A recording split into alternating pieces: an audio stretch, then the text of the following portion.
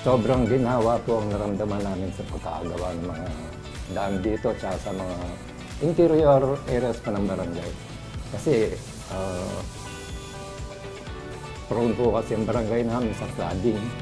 Ay malaking tulong po yung AGLT, lalo na po yung mga nangangailangan ng gamot. Pati po yung Animal Bike Center. Yun po, ah, maraming natutulungan ng residente, residente po ng barangay namin. Tsaka sa mga karating barangay na rin.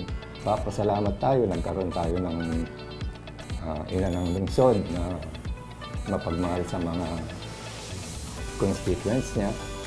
Tsaka bumababa po kasi siya kaya ramdam natin yung yung concern niya sa lahat ng nasasakupan niya.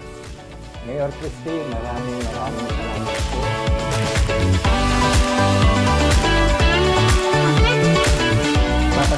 po kami sa inyo sa, sa inyong walang sawang pagtulong sa amin dito, lalo na yung mga nasasakupan namin, mga constituents namin, na yung mga programang ibinaba niyo sa barangay namin ay lubos ang kanilang pasasalamat, lalo na walang, sa inyong walang sawang pagtulong sa mga, lalo na, hindi lang po sa barangay sa Nicolas, sa mga karatig na na barangay at sa mga barangay pangliblib na barangay na kasama namin dito sa sa Tarlac City, ay kami po dito, number one, sabi nga po ni Kagawad, sabi nga po ni Kapitan, full support po kami, buong council po ng barangay San Nicolas, ay buong suporta namin at susuklian namin yung tulong ninyo sa amin at susuklian namin yan nang nasa ganun ang magtuloy-tuloy po at kasama nyo kami sa pag-unlad ng Tarlac.